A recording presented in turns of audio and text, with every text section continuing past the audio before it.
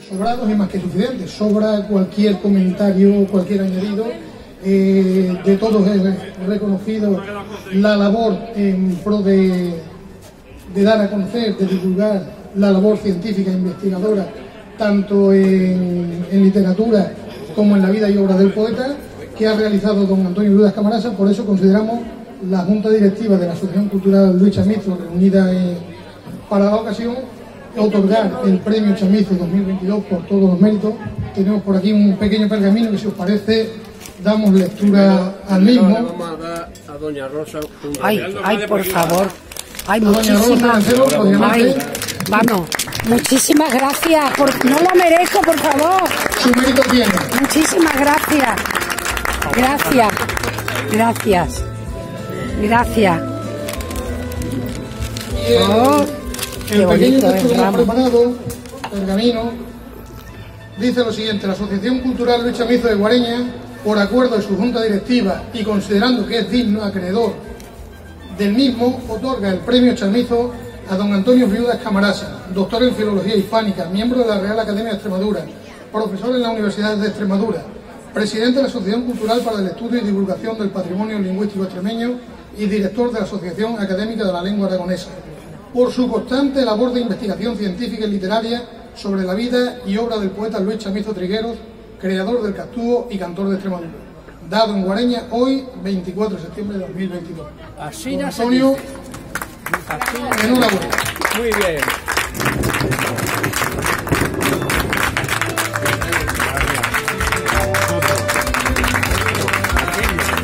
Ya está.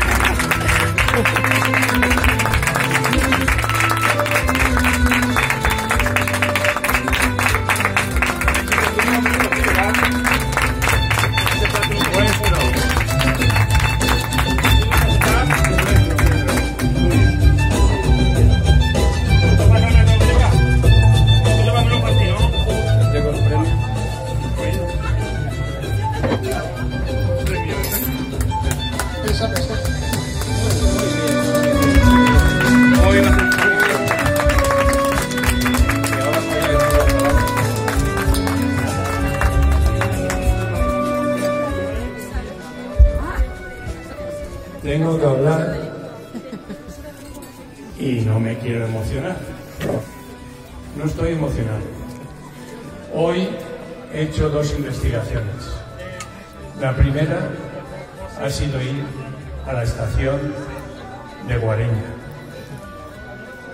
Allí he descubierto lo que supone el tren para Luis Chamizo. Creo que Luis Chamizo se merece la medalla de Extremadura a título póstumo por todo lo que ha escrito a favor del tren. En esa estación de Guareña me he encontrado dirección Ciudad Real, dirección Mérida.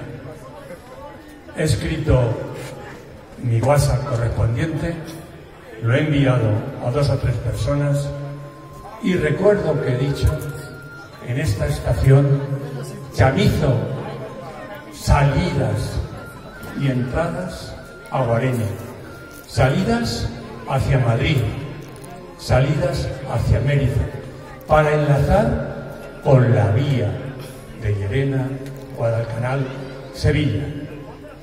Lógicamente, ese tren que Luis Chamizo y sus coetáneos llegaban con el tren de Mérida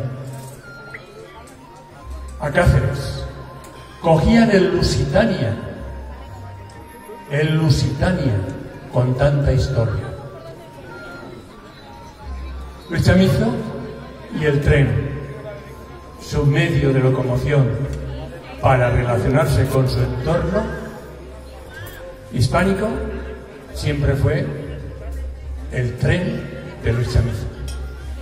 En junio de 1921 enlazó con el correo de Sevilla hacia Madrid en Ciudad Real, con tan mala suerte que al llegar a Villaverde venía el tren de Toledo, un cercanías, el guardahojas se equivocó y la Renfe, en lo que correspondía a la Renfe de entonces, sufrió el mayor accidente de trenes de la historia de España.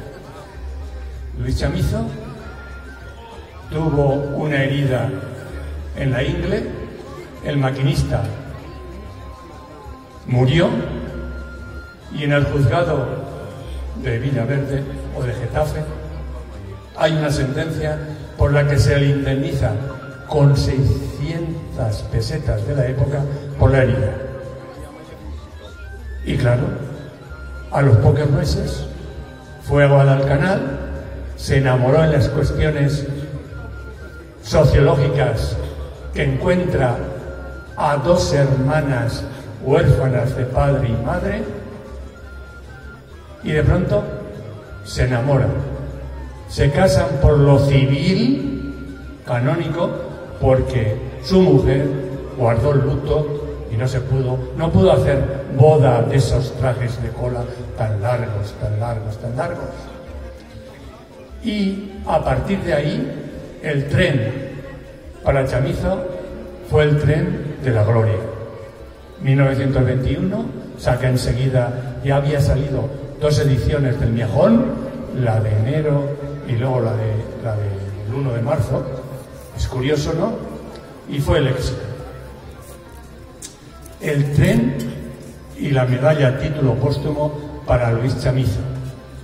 De aquel tren de la época del 21, de la abundancia después de la Primera Guerra Mundial, se vivió el esplendor.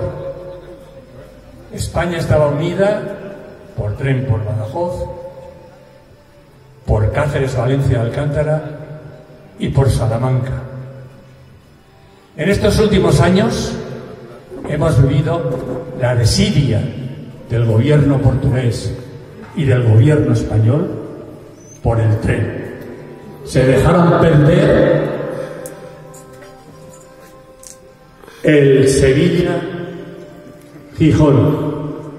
Se dejaron perder el Madrid, Valencia, Alcántara, Lusitania, con el que yo viajaba de noche y llegabas a las 8 a Portugal, a Lisboa, a Santa Polonia y una joya. Se han dejado perder el tren por Salamanca, esa estación preciosa que hay en la frontera. Entre es. Una maravilla. Luis Chamizo y el tren, como divulgó mi amigo Juan Manuel Rozas, una vez que yo le entregué simultáneamente mi edición que hoy he dedicado a Balbino Malfeito Carrasco, que nos está aquí, y me ha traído esa edición de 1982. ¿Cuántos recuerdos?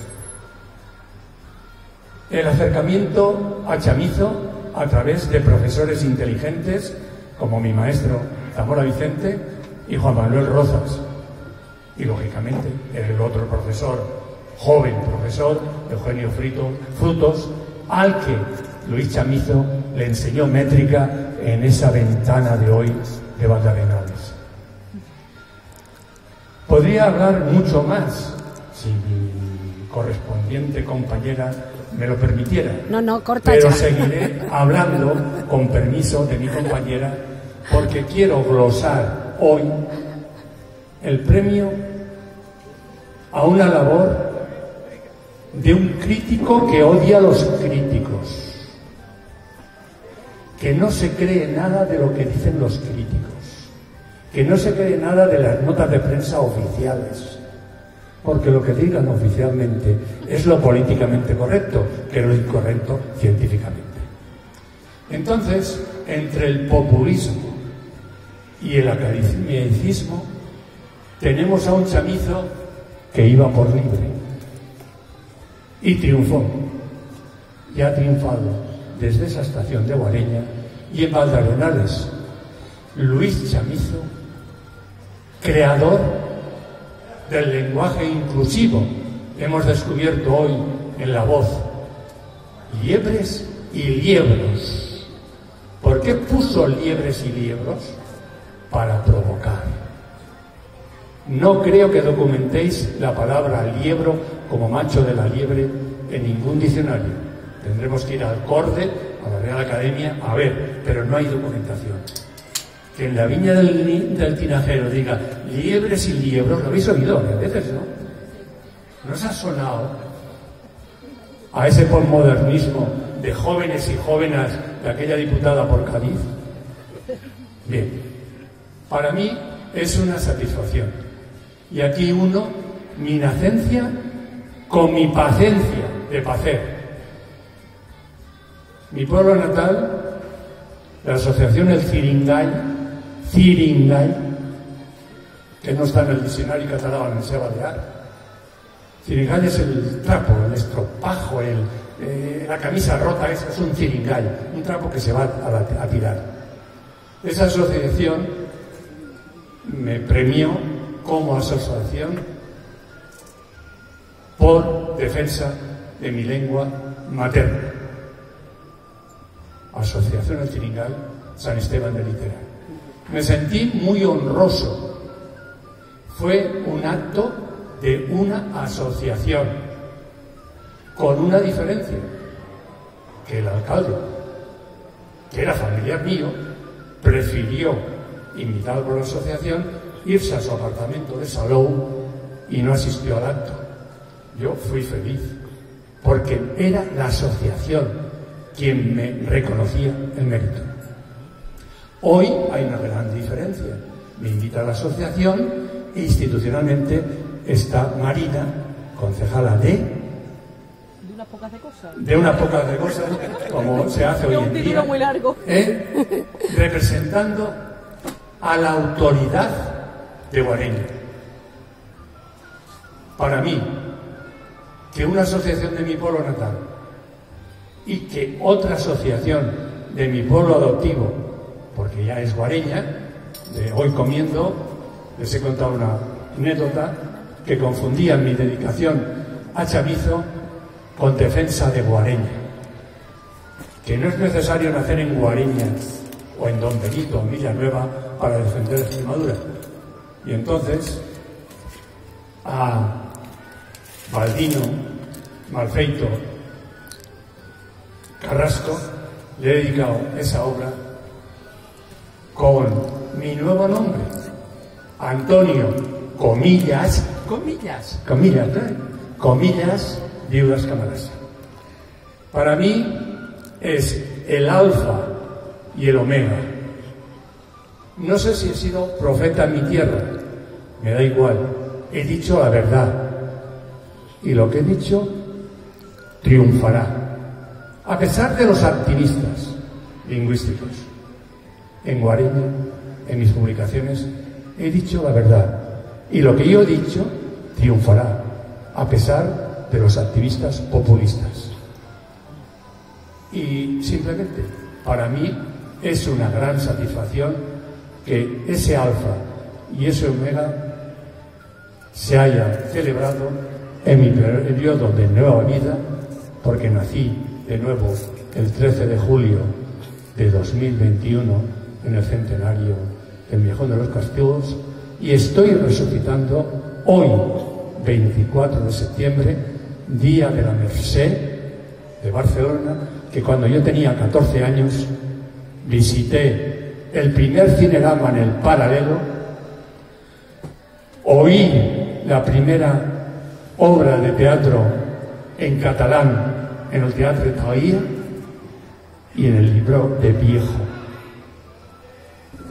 de Ronda de la universidad.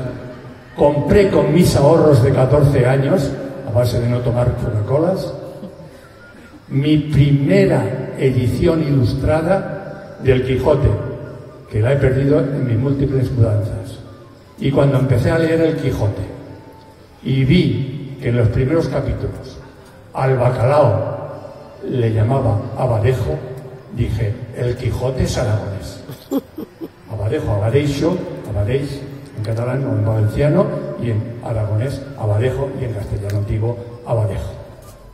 Por tanto, para mí, soy un ciudadano libre con libertad de pensamiento que ha vivido y convivido tanto en Iberia, como en Hispania. Para mí la cultura anterior a la hispanización es muy importante. Y para mí, de verdad, hay dos culturas en España. La mediterránea, la España que va, y eso me lo, me lo dijo un pastor en Fuentes de Jalón, donde nace el río Jalón. ¿Ve usted esa sierra? Es la Sierra Ministra. De aquí para allá, donde nace el sol, es el Mediterráneo. De aquí para allá empieza el Atlántico. Y para mí, esa teoría de las dos Españas, no la seca y la otra, y la húmeda, sino es la teoría que hoy me dice la España desarrollada hasta que se infecte del triángulo Barcelona-Zaragoza, Bilbao-Madrid, Sevilla-Málaga, y la España del futuro, porque como vivimos sin anhidrido carbónico, vivimos usando todavía la miel de la jara, usando lo pegajoso que es la flor de la jara tan bonita de esta tierra, es donde sale la innovación que es necesaria para el resto de las regiones ibéricas.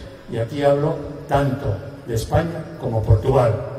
Por tanto, para mí, en cuarenta y tantos años de estancia en Extremadura, tanto los presidentes de la República Portuguesa como los jefes de Estado que he tenido en España y los gobiernos me han defraudado. Se han dejado pasar la historia de comunicar esta zona atlántica con Europa.